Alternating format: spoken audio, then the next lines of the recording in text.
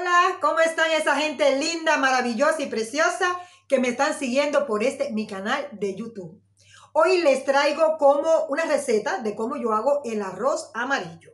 Este arroz amarillo le voy a echar eh, carne de puerco y le voy a echar carne de pollo. Así que lo voy a hacer con pollo y con puerco. A petición de mi esposo que me está pidiendo que le cocine, que le haga arroz y ya yo le he hecho arroz eh, con gris y le he hecho arroz blanco y le he hecho otro arroz. Entonces me puse a pensar, ¿qué arroz le hago? ¿Qué arroz le hago? Y se me ocurrió hacerle un arrocito amarillo. Así que si te interesa cocinar arroz amarillo y saber cómo yo lo hago, quédate en este videito y míralo hasta el final. Así que vamos a empezar aquí en la cocina de Mora. Aquí tengo carne de puerco, carne de pollo, pimiento ya picadito, ajo, mi cebolla picadita. Esto es sal condimentada. Si no tiene, puede usar sal común. Pimienta roja un poquito picantica. Cúrcuma o bijor. Comino. Eh, aquí tengo puré de tomate. También puedo usar vitanuova. Aceite. Esto es vino seco. Si no tiene vino seco, puede usar otro tipo de vino o cerveza. Vamos a emplear también arroz. Esta es la medida de mi arroz.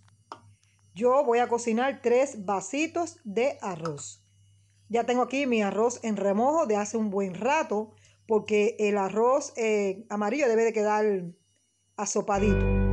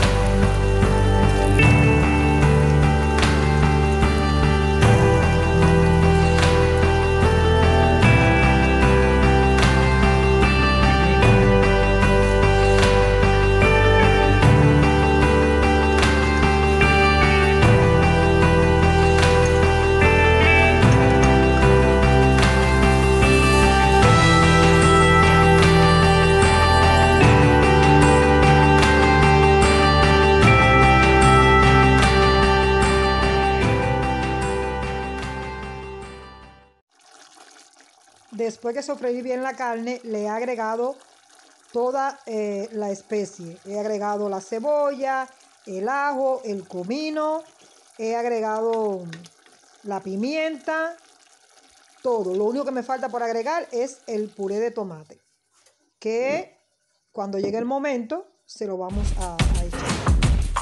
Ya aquí está hirviendo mi carne,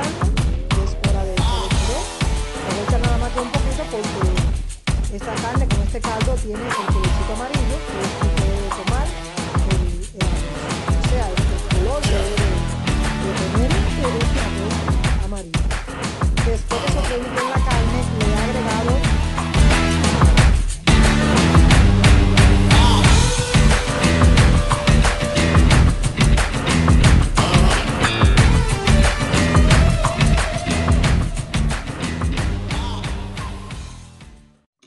Bueno, ya, ya mi carne está. Ahora, esta, esta carne con el caldo y todo, yo se lo voy a echar al arroz. Aquí tengo mi arroz, que lo he dejado eh, unos cuantos, un buen tiempo en agua, remojado en agua, porque el arroz amarillo, cuando se cocina, no debe de quedar desgranado, debe de quedar eh, asopado o estilo chorrera. Tampoco te debe de, quedar, de quedar empegostado ni hecho un puré. Tampoco, porque no hay que exagerar. Pero sí te debe de quedar asopadito. Así que vamos a meterle mano al arroz. Ya voy a montar mi arroz. Ahora le voy a botar esta agua para entonces echarle la carne con el caldo. Bien, ya he agregado la carne con el caldo al arroz. Ahora es cuando echamos el vino seco. Y si no tiene vino seco, también puede echarle otro tipo de vino y o cerveza. Un detalle importante, esta, este, este, esta carne cocinada debe de quedar un poquito subida en lo que es el punto de las especies. ¿Para qué? Para que cuando usted cocine su arroz y este arroz amarillo esté ya terminado, su arroz no quede con un sabor desabrido, sino que quede con un sabor, con, o sea, que quede con un punto que cuando usted come el arroz, usted sienta el, el sabor rico ese en el arroz. Ahora voy a poner la tapa a mi olla y voy a darle los minutos que le voy a dar a este arroz.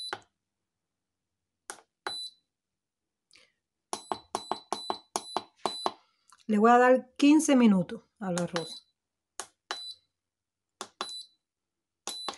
Así que dentro de 15 minutos nos vemos. Bueno, ya la olla me avisó que ya pasaron los 15 minutos. Pasó más tiempo porque yo me estaba bañando. Pero vamos a ver cómo quedó el arroz. Uy, como me gusta a mí. Ensopadito. No he hecho puré. Miren mi gente, así como debe quedar el arroz amarillo. Así. Ahora voy a echar en un plato porque hoy voy a comer temprano. Miren cómo ha quedado el arroz. Así debe quedar el, el, arroz amarillo. Este arroz no está para nada desgranado. Así como ustedes lo ven, está ensopadito y tiene, cuando tú pruebas el arroz, se siente el, el sabor del arroz con especie. No se siente un arroz desabrido ni nada de eso. Así que espero que les haya gustado este video para que también en su casita hagan arroz amarillo. Aquí estoy em, comiendo mi arrocito amarillo, que me quedó riquísimo. Miren mi gente. Mm.